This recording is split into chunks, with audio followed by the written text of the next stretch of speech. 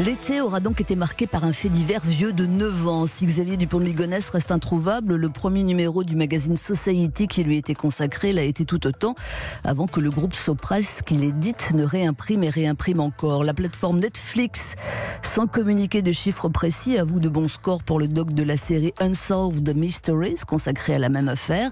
C'est vrai aussi pour le documentaire sur le petit Grégory. Bref, les faits divers cartonnent. Ok. Faites entrer Christophe Ondelat. Bonjour Christophe. Présent. Bonjour. Euh, le succès incroyable des deux numéros de, Society consacrés euh, à l'affaire du pont de Ligonnès, estimation 300 000 exemplaires. Est-ce que ce succès vous étonne, vous? Oui. Pourquoi? Disons les choses franchement. Oui, parce que euh, si la presse écrite avait senti depuis 20 ans que le fait divers était porteur, elle, elle en aurait fait beaucoup plus. Et elle n'en a pas fait, elle n'en fait plus. depuis la mort de François, euh, enfin qui avait lentement dérivé euh, euh, dans, dans, les années 80, 80, 80, 90, qui était devenu un, un, un, un canard euh, euh, qui traitait le fait divers un, un, peu mal, mais qui le traitait. Depuis la mort de François. Il y a le Parisien aujourd'hui. Le Parisien un peu, mais enfin ils suivent pas. Ils vont faire un papier, quelquefois le lendemain un deuxième papier, puis ensuite on n'a pas la fin de l'histoire. Et en gros dans le fait divers aujourd'hui on n'a pas la fin de l'histoire.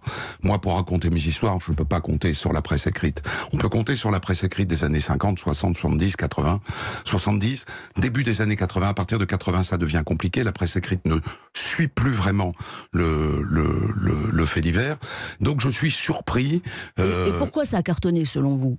Parce que euh, c'est bien fait Parce qu'il y a une politique marketing euh, maligne? Alors non, ce qui est intéressant dans le fait divers, moi ça fait longtemps que je plaide ça, et, ceux qui écoutent On se la raconte le, le, le savent, c'est le détail le tout petit détail, jusqu'au tout petit détail. Euh, ce qui est intéressant quand on ouvre un dossier d'instruction, moi qui en ai lu des dizaines, c'est euh, le détail. Euh, et euh, l'intelligence de, de Society dans cette affaire, c'est de nous avoir donné des détails. Vous avez appris des choses, vous ah évidemment. Quoi, par exemple Je Je suis pas un spécialiste du tout de l'affaire du pont de Ligonnès, mais on apprend des tout petits détails, ne serait-ce que sur le processus euh, de mise à mort, sur l'enchaînement euh, euh, des morts dans le premier numéro. Oui, on apprend, on apprend plein de choses. ce qu'on savait en grand, on le sait en détail. Et comme c'est ça qui fait le sel, à mon sens, d'une affaire criminelle, c'est très intelligent de la part de Society d'avoir en fait, au moins en ce qui concerne le premier numéro, une partie du deuxième, publier le dossier d'instruction. C'est ça, il y a une coopération totale avec les enquêteurs, c'est ça ah, aussi Je ne sais pas d'où sort, d'où vient la fuite, il n'est pas sûr qu'elle ah, vienne. C'est pas une fuite, je crois pas, non. Euh, on a eu Franck Hanès au téléphone, il disait que voilà, il laissait entendre en tout cas qu'ils avaient quasiment coopéré, puisque les enquêteurs n'ont plus les moyens d'enquêter. Oui, c'est ça, ils n'ont plus de, mhm. de, moyens d'avancer, donc euh, ils, ils, ils, tentent euh, la, la, la, presse. Donc voilà, ils ont eu accès au dossier d'instruction, on a eu les détails, c'est ça qui fait le, le euh, après, il y a, quelque chose autour de Dupont de Ligonnès qui est très particulier. Et, je pense que c'est là quoi d'ailleurs? Plus que dans le fait divers, c'est dans l'affaire Dupont de Ligonnès. Eh bien, la dualité de l'homme poussée à son extrême.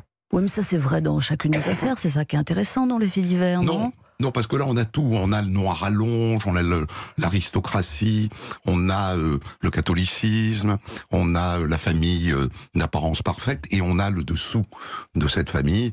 Et, c'est ça, révélé dans le numéro 2, ou détaillé dans le, dans le numéro 2, qui fait tout l'intérêt de cette histoire. Et puis, évidemment, il y a le fait qu'il soit toujours introuvable. Qui Alors ça, non, pour moi, c'est la frustration. Ah ben non C'est pas ça qui fait le succès. Ah, vous croyez? Ah ben, c'est un coitus interruptus, cette affaire. Oui, mais regardez Grégory, c'est la même. Euh, oui. La même chose. On, ne sait pas. Peut-être qu'on ne saura jamais. C'est peut-être ça qui parce qu'on euh, essaye de savoir, vous croyez pas Alors ça viendrait remettre en cause ce qui est ma, ma, mon cheval de bataille depuis 20 ans, qui est de, de, de ne raconter euh, que les affaires criminelles qui trouvent une solution, parce qu'au fond, euh, l'affaire du pont de Ligonnès, en dehors d'éveiller beaucoup de fantasmes chez les gens, elle nous donne pas la solution, et donc je me serais trompé, mais je ne crois pas. Alors il y a des exceptions à tout, mais je pense qu'il n'y a pas d'affaires criminelles intéressantes dont on ne connaît pas la fin. Mhm. Le reste, ça ouvre la porte au fantasme, aussi bien chez Grégory, où en vérité, aujourd'hui, on connaît plus la fin qu'on ne le dit. Simplement, c'est l'incapacité d'aller au bout de, de, de, de, de l'histoire, le constater 30 euh, ans après.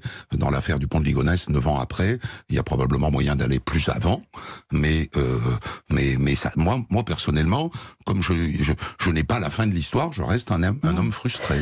On a aussi entendu des gens s'offusquer sur le thème. C'est quand même un type qui a quasi gouillé toute sa famille, sa femme, ses quatre enfants et même les deux chiens. Et euh, voilà, on se passionne pour ça. C'est limite, limite. On a entendu des gens qui s'offusquaient. voulez, ça renvoie énormément à l'affaire Roman, dont on connaît la fin. Euh, c'est-à-dire des, des vies bâties euh, sur un mensonge. C'est toujours quelque chose de, de passionnant parce que le processus d'identification, qui est ce qui fait que les gens s'intéressent aux affaires criminelles, euh, fonctionne à fond, puisqu'il a l'apparence de quelqu'un de normal, voire de modèle. Alors, euh, alors c'est que mon voisin, qui a l'air si normal et si si modèle, n'est peut-être pas l'homme qu'il a l'air d'être. Et ça, euh, ça, je crois que c'est la, la mécanique qui fonctionne à fond. Vous pensez qu'il est vivant, Xavier Dupont de Je pense rien, moi. Non, bah, vous n'avez pas une, une, je conviction. de penser. Il y a suffisamment de gens qui pensent. Ce que vous ressentez, alors pas penser, ressentez. Je pense que si c'était un homme normal, il se serait suicidé. Voilà. Mais comme manifestement, ce n'est pas un homme normal, alors je ne peux pas savoir. Et vous pensez qu'on le retrouvera un jour? Et je ne pense pas non plus. je n'en sais rien. Non, mais vraiment, vous savez, en matière criminelle, c'est important de le dire et de le redire, il n'y a que les faits qui comptent. Euh, ce qu'on pense, euh, ce qu'on envisage, ce que on s'est tellement égaré dans euh, l'arrestation, y compris à Glasgow il n'y a pas si longtemps. C'est fait divers qui fascinent Christophe Ondelat et dans Culture Médiaque. Ce matin, je vous raconte cet été 2020 où nous avancions masqués et où une folie fait divers s'était emparée du pays. Il était impossible de trouver le magazine Société consacré à l'affaire du pont de Ligonnès. Vous ne me croyez pas? Vous avez tort. Ah non, j'y arrive pas. C'est pas facile de faire de la raconte. c'est des années de travail. Ah bah j'imagine, ouais. C'est des années de travail. Euh, il y a deux mois, Christophe Ondelat, euh, vous n'aviez laissé le soin à personne d'autre de raconter pour ses 20 ans l'histoire de l'émission Faites entrer l'accusé que vous aviez euh, créée sur, sur France 2, peut-être Antenne 2 à l'époque, non quand même pas. vous disiez qu'au début de vos... Le RTF. Oui, le RTF. Vous disiez au début de votre. À vous. À. Euh, au début de votre carrière, les, les faits divers vous, vous débectaient comme, journaliste. Pourquoi, pourquoi avez-vous changé d'avis alors? Parce que j'ai découvert ce qui, ce qui était intéressant dans, dans le fait divers, qui est euh, justement l'ambiguïté de l'homme. Et plus que le sang. En fait, ce, ce, qui ne me plaisait pas, euh, c'était euh, le sang, les larmes, euh, la, souffrance des victimes, euh, les mamans qui pleurent la petite fille qu'on a assassinée, etc. Je, trouvais ça indécent d'aller parce que ça a longtemps été ça le le, fait divers à la radio. Ça, ça a longtemps été la quête de la larme. Et, j'ai eu la chance, moi, de travailler avec des gens qui ne, qui ne cherchaient pas la larme, qui cherchaient pas la, souffrance, qui cherchaient pas le, malheur, qui cherchaient plutôt le récit d'une enquête. Et, et, et donc, euh, ça m'a permis de, de changer de, de focus sur euh, la manière de traiter le fait divers. Parce que moi, tel que je l'avais pratiqué dans ma carrière de reporter, en radio locale, euh, mes débuts au Pays Basque, ensuite à, à Châteauroux, puis à Lille, c'était souvent aller interviewer la maman en larmes, quoi. Et si elle pleurait pas, ça valait rien. Donc ça, ça m'intéressait pas. Mais lorsqu'il s'est agi de raconter euh, une enquête criminelle, en, entendant la victime, mais sans la faire pleurer systématiquement, vous pouvez pas savoir, je, des, des, dizaines et des dizaines de personnes pourraient témoigner ici que j'ai interviewé pour faire entrer l'accusé, euh, à qui j'ai dit j'arrête l'interview parce que vous pleurez. vous vous séchez, on va vous remaquiller, on va faire un petit raccord. Euh, moi, j'ai pas envie de vous voir pleurer, je vous veux debout.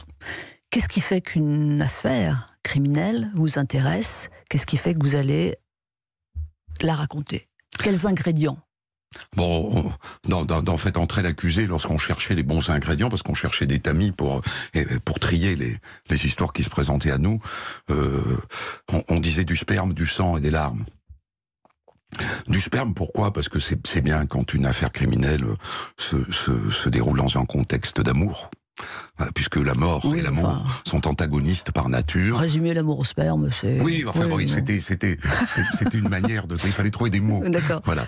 Euh, du sang parce que le le le le, le crime de sang est, est, toujours plus intéressant que euh, la manigance menée longtemps à l'avance. Euh, voilà, le, le, le, le, crime de sang euh, rend compte d'un moment. Pas, je te tue. Euh, voilà. Et, et, des larmes parce que, alors c'est ça, c'est un peu l'inverse de ce que j'ai dit il y a deux secondes, mais parce que il, faut qu'on soit triste pour la victime, mm. en fait. Mm. Il faut qu'on soit triste pour la victime, il faut qu'on soit triste pour les les gens qui l'aimaient. Voilà. Vous avez croisé beaucoup de crimes parfaits. Il y en a beaucoup ou pas tant que ça Il y a beaucoup de tentatives de crimes parfaits. Aujourd'hui, avec la, police scientifique contemporaine, ça, devient très très très compliqué. Euh, L'ADN et pas que, euh, la téléphonie. Hein.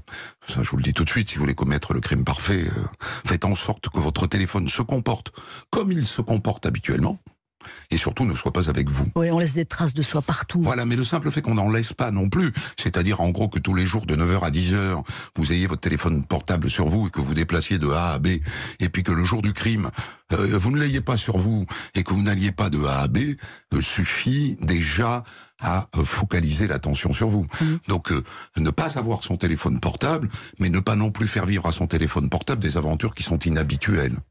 Quels, quels sont vos, vos, faits divers préférés, si j'ose dire? Ou le dernier, toujours, ou le prochain.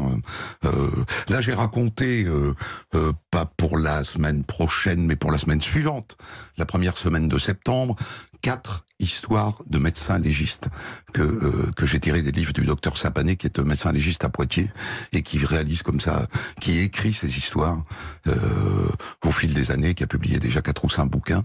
Euh, ça c'est passionnant, c'est comment des affaires se résolvent par la médecine légale, par l'autopsie. Ça arrive souvent à ce stade-là? Ça arrive, oui, beaucoup, beaucoup, beaucoup. De la même manière que ça euh, euh, permet parfois des histoires de sortir du criminel pour aller dans l'accidentel, oui, bien sûr. Mmh.